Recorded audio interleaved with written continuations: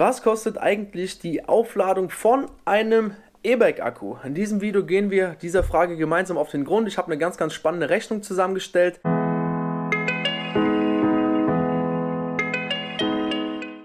Macht euch gemütlich, macht euch einen Kaffee oder einen Tee. Schön, dass ihr mit dabei seid. Wir gehen die Rechnung jetzt mal zusammen durch. Alle Grundlageninformationen dazu, die habe ich euch auch unten mit in die Videobeschreibung reingepackt. Also alles so Sachen wie Durchschnittsstromkosten und so. Dazu findet ihr Informationen unterhalb des Videos in der Infobox. Wenn euch grundsätzlich die Kosten zu einem E-Bike interessieren, dann kann ich euch an der Stelle ähm, kurz den Tipp geben, dass ihr meinen Kanal auch kostenlos abonnieren könnt. In der Videoreihe Dauertest zum Highbike gehen wir alle Kosten durch, die ich mit der Zeit einfach mit meinem Highbike hier habe. Und in der Videoreihe Tschüss Auto, Hallo Highbike schauen wir uns zusammen an, wie viel Geld ich entspare, denn ich habe mein Auto verkauft und bin seitdem nur noch mit diesem Highbike unterwegs. Von daher einfach kurzer Hinweis darauf. Jetzt aber auch direkt rein in meine Notizen. Also mein E-Bike mit dem Yamaha-Motor dient uns jetzt hier mal als Grundlage. Ich habe schon erwähnt, 500 Wattstunden Akku bedeutet 0,5 Kilowattstunden passen in diesen Akku an Strom überhaupt erst hinein. Spannendstes E-Bike-Thema überhaupt, Reichweite. Mit meinem Akku komme ich zwischen 60 und 100 Kilometer weit. Das ist von ganz, ganz vielen Faktoren abhängig. Mache ich auch nochmal ein extra Video zu. Das würde jetzt hier sonst den Rahmen sprengen. Und zum einfachen Rechnen nehmen wir nochmal ein paar Kilometer runter. Wir gehen jetzt einfach mal davon aus, dass wir mit einer Akkukapazität von meinem Akku 50 Kilometer weit kommen.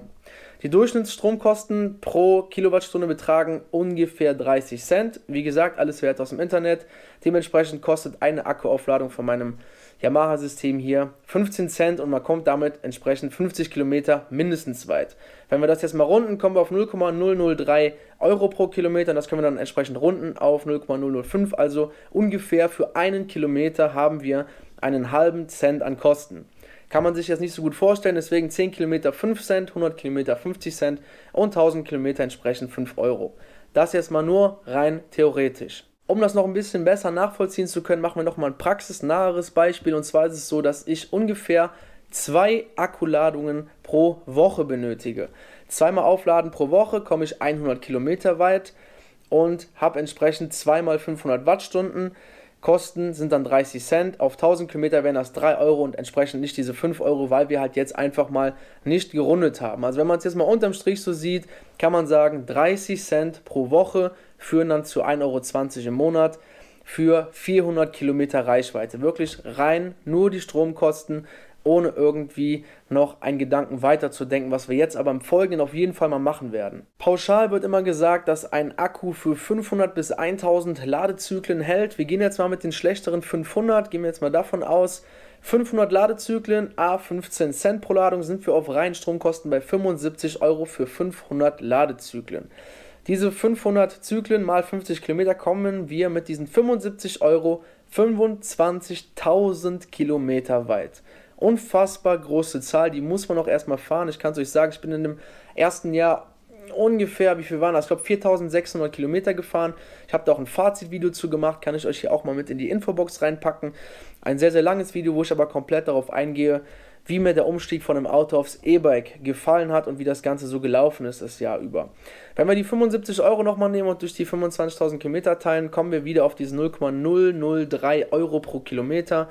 Von daher rechnerisch passt das auch alles. Jetzt müssen wir uns aber eins überlegen. Ein neuer Akku, wenn wir den neu kaufen würden, angenommen, der würde nach diesen 500 Kilometern kaputt gehen, oder machen wir es noch einfacher, wir haben diesen Akku ja schon bezahlt. Indem wir ein E-Bike gekauft haben, meinetwegen 3000 Euro, sind da ja schon die Kosten für den Akku drin. Also wir können sagen, diese 500 Euro Akkukosten habt ihr schon bezahlt.